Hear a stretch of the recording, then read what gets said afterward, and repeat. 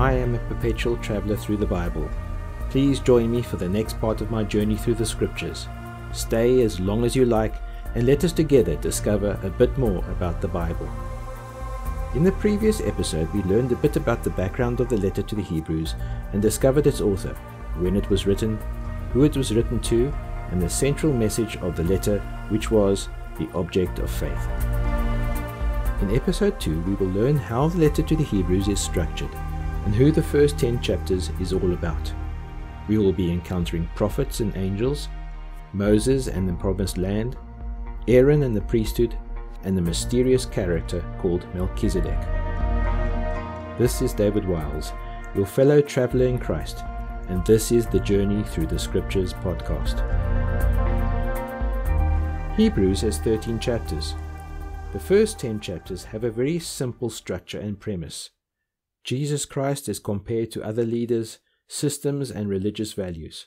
For the Jews to whom this letter was first written, this would be important.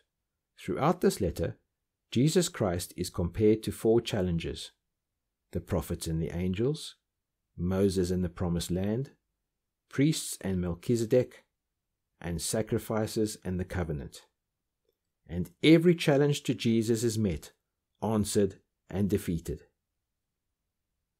The first challenges appear in Hebrews 1 verses 1 to 2. In many and various ways, God spoke of old to our fathers by the prophets, but in these last days he has spoken to us in his Son, whom he appointed the heir of all things, through whom he also created the world. The first challenges are the prophets of the Old Testament. These are prophets like Isaiah, Jeremiah, Ezekiel, Daniel, Hosea, Habakkuk. These prophets were very important to the Hebrews. They were great poets, orators, and authors, and their insights and views of reality far outstripped contemporary philosophers like Socrates, Plato, and Aristotle. These were great men, and God had spoken to them and through them in the past, but with a quick dismissal, the writers of Hebrews declares that these great prophets have no equality with Christ. These prophets are just spokesmen and instruments, and the author is saying that Jesus is superior to all of the previous ways that God has revealed himself through the prophets. The next challenges are the angels. In the Greek centered world of the New Testament, angels were regarded as very important beings. Most of the Greek gods and goddesses were angels in the eyes of Greeks, they were regarded as a kind of demigod, but to the Hebrews, angels were very important as well. In Deuteronomy 33, verses 2, we read that the Lord came from Mount Sinai. He rose like the sun over Edom and shone on his people from Mount Paran. Ten thousand angels were with him, a flaming fire at his right hand. The Hebrew tradition believes that the Torah, that is the first five books of the Bible, and the word of God were delivered to Moses at Mount Sinai by angels. From Hebrews 1 verses 4 through to Hebrews 2 verses 18, the writer deals with the question of who is greater, the angels or the Son. He points out immediately that the Son, our Lord Jesus, is superior to any angel. Hebrews 1 verses 5 says, For to which of the angels said he at any time, You are my son, this day I have begotten you. And again, I will be to him a father, and he shall be to me a son. This is a rhetorical question. The audience of the letter to the Hebrews already knew the answer. God never said this to any angel. The Son is superior to the angels, and furthermore, the angels worshipped him. Read Hebrews 1 verses 6. And again, when he brings the firstborn into the world, he says, Let all God's angels worship him. Therefore, the angels themselves admit that Jesus is superior, and they obey him. So, how could you ever compare an angel to the Son of God? There's also something more here the word begotten it is very important. I think the Christian author C.S. Lewis states it very well in one of his books. He says, What we make with our hands is different from us, but what we beget with our bodies is always the dearest thing in the world to us, because it is part of us. The angels were made, but the Son was begotten.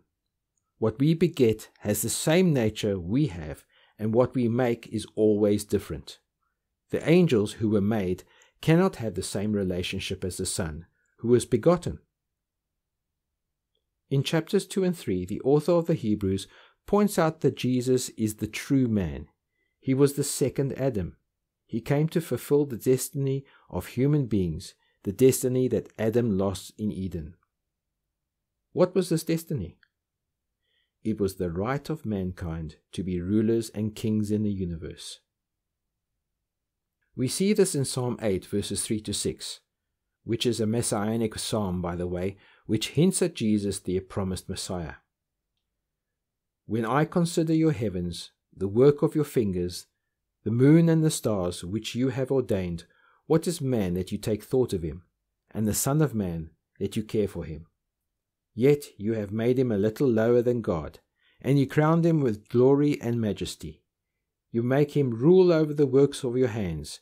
You have put all things under his feet.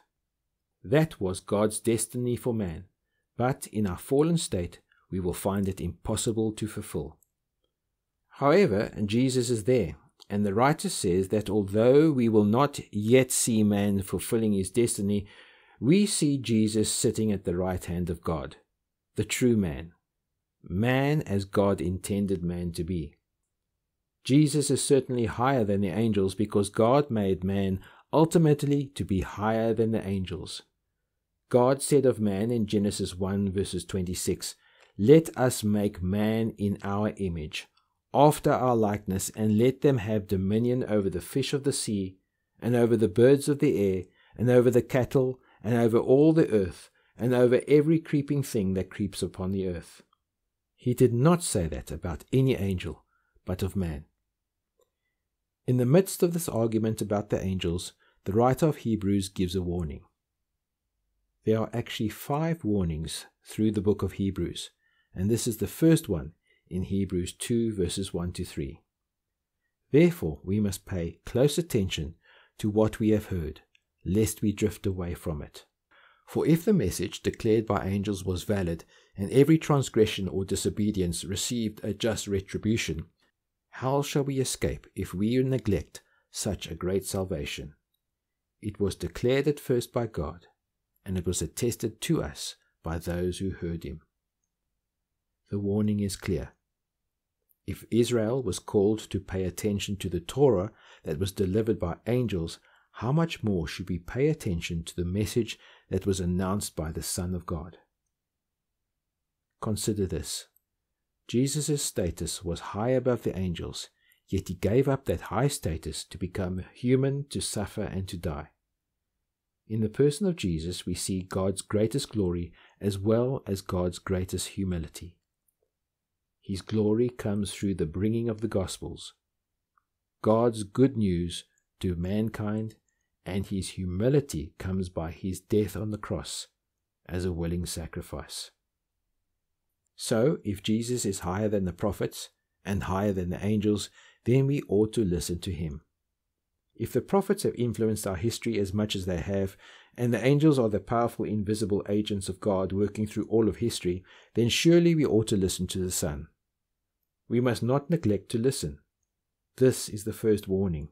In Hebrews chapters 3 to 4, the next challenges are brought into the arena Moses and Joshua, or the Promised Land. The stories of both these great men of God are found in the Old Testament. The Hebrew people idolized them as the supreme examples of men mightily used of God. In chapter 3 of Hebrews, Jesus is compared to Moses, and in chapter 4 he is compared to Joshua. As a quick aside, the name Jesus is a Greek name, not a Jewish name. It is the Greek version of Yehoshua or Joshua in Hebrew. It means God is salvation. Hebrews 3 verses 1 to 6 says, Therefore, holy brethren, who share in the heavenly call, consider Jesus, the apostle and the high priest of our confession. He was faithful to him who appointed him, just as Moses also was faithful in God's house. Yet Jesus has been counted worthy of as much more glory than Moses, as the builder of the house has more honor than the house. For every house is built by someone, but the builder of all things is God. Now Moses was faithful in all God's house as a servant, to testify to the things that were to be spoken later. But Christ was faithful over God's house as a son. And we are his house if we hold fast our confidence and pride in our hope. The word house actually means the house of God, and it appears six times in this passage. There is a very common and bad habit amongst Christians that refer to a church building as the house of God. A building has never really been called the house of God, either in the New Testament or the Old Testament. In fact, when the early church referred to the house of God, they always meant the people. A church is not a building, it is the people. Church buildings only started appearing in the third century. Even the temple or the tabernacle of old was not really God's house. Look at what Isaiah 66 verses 1 to 2 says Heaven is my throne, and the earth is my footstool. What is the house which you would build for me, and what is the place of my rest? All these things my hand has made, and so all these things are mine, says the Lord. When the Apostle Paul was preaching to the Athenians, in Acts 17, verses 24, he reminded them that God dwells not in temples made with hands. When Paul said these words, the temple was still standing in Jerusalem. No, God does not dwell in buildings. Then what is the house of God that is mentioned here in Hebrews? The answer is right here in verse 6. We are his house. God never intended to dwell in any building. He dwells in people, in men and women. That was God's intention all along in making man, that they may be the tabernacle of his indwelling. And what is the argument that the writer of Hebrews is bringing? It is very simple. Moses was a servant in the house of God, but Jesus is the Son to whom the house belongs and for whom it is built. So he obviously has superiority. The house of God here being man. Moses was only a servant in the symbol of the house of God. Jesus is the Son in the very house itself. Moses and later Joshua led Israel towards the promised land, a symbol of the rest of God, but Jesus leads believers into the actual place of rest. In chapter 4, verse 10, it says, For whoever enters God's rest also ceases from his labors as God did from his. Let us pause there for a moment. If you stop depending on yourself and your own efforts, then you have learned to enter into rest, because you have started depending upon another. That is God's work in you. This is the long lost secret of humanity. This is the secret that Adam and Eve lost in the Garden of Eden and that Jesus Christ came to restore for us. When we learn to operate like that, we learn to be perfectly peaceful, calm, undisturbed by circumstances, trusting and effective, accomplishing things for Christ's sake. That is rest. But we mustn't miss the second warning that is laid out in the last part of chapter 3 and is expanded in the first part of chapter 4. The author retells the story of how the Israelites rebelled against Moses in the wilderness, and they lost their chance to enter into the rest that God prepared for them in the promised land. Here in Hebrews 4 verses 7 is the second warning. He again fixes a definite day, today, saying long afterwards through David, as already quoted, Today, if you hear his voice, do not harden your hearts. If Jesus is greater than Moses or Joshua, how much higher are the stakes if we rebel against him and resist his leading? We are all in a wilderness like environment in this world, where we have to trust God for the future rest in God's new creation. So let us make sure that we do not rebel like Israel did in the wilderness and lose out on God's gracious offer to enter his new creation. Let us therefore make every effort to enter that rest so that no one will perish by following their example of disobedience. Let us strive to enter that rest, just like Hebrews 4:11 says, or like those people in the wilderness, we fall away and lose out what God has for us. The next challenger to the superiority of Christ is Aaron, the high priest of Israel, and along with him the whole system of priesthood. A great part of this letter has to do with the subject of priesthood, and it is very important because priests have a great value in the Jewish tradition. What do you think priests are for? In the Old Testament, priests had two very important functions. They had to relieve guilt and they had to remove confusion. Hebrews 5 verses 1 explains this.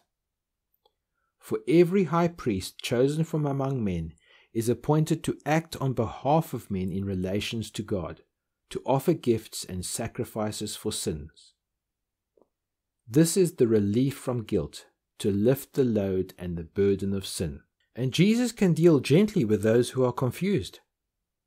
Hebrews 5 verses 2 says, He, that is Jesus, is able to deal gently with those who are ignorant and are going astray, since he himself is subject to weakness. When someone is confused, they are often ignorant and miss the path, and do not know where to turn.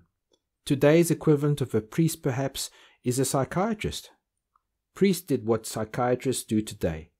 They tried to relieve the load of guilt and to straighten out people's confused and ignorant approaches to life, and so they were very important.